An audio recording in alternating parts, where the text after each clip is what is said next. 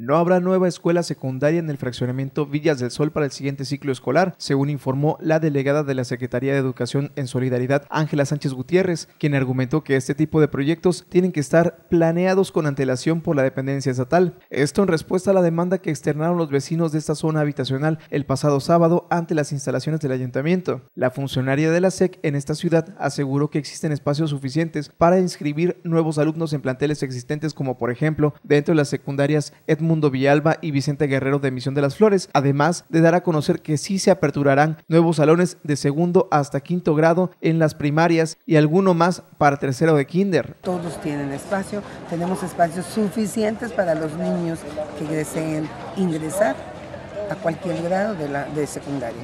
Entonces, para este siguiente ciclo escolar, nada en Villas del Sol. Programado.